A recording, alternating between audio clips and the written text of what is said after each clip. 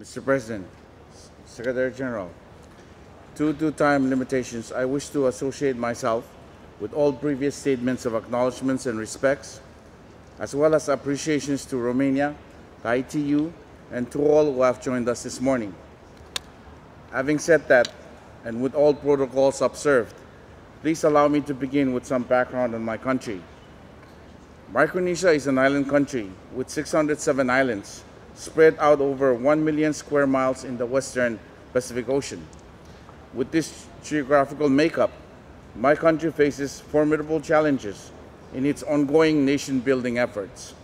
As a result, ICT has become a tremendously important development tool. Due to limited time, I wish to focus my statement on four key issues. First, Micronesia is making good progress towards establishing a modern and open communications industry. We have been on a 10-year path to deliver better outcomes from our communications sector.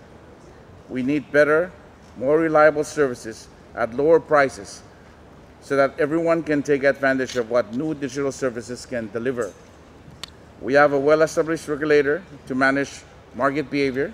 We have an open access entity that owns the undersea cable infrastructure connecting three of our four states, Pohnpei, Chuuk, and Yap, and we have the start of a competitive industry developing. Second, new satellite services will make a big difference to Micronesia with our widely spread island-based population. The benefits of reform and opening up the market have allowed us to be ready for changes in technology that we couldn't have imagined at the start. The expected low prices, and high performance of the new low Earth orbit satellite providers offer promises that will be revolutionary.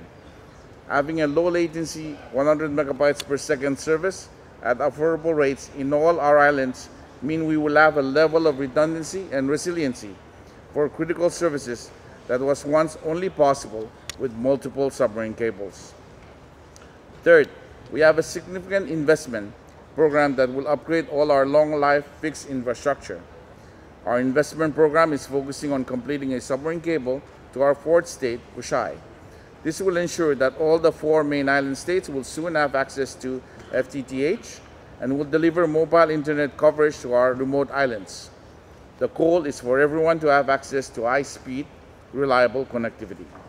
The connection to Kosrae through the East Micronesia cable system will also provide connections to our neighboring island countries of Kiribati and Nauru. This will create opportunities for both our neighbors and us to aggregate our demand and host content delivery networks in a common location to improve service and lower our shared costs. In this regard, I wish to extend our appreciation to the United States, Australia, and Japan who are financing this major development project. Fourth, our ultimate goal is to make digital services available easily to better deliver on growth and development. With more reliable internet access, we are starting to move the FSM government to modern cloud-based email and collaboration tools. This is already making a difference in terms of our efficiency and productivity. We believe that harnessing these tools will help us deliver better education, health, and employment opportunities for our people. In conclusion, I wish to express our continued desire to seek the guidance and support of the ITU, including our development partners and friends.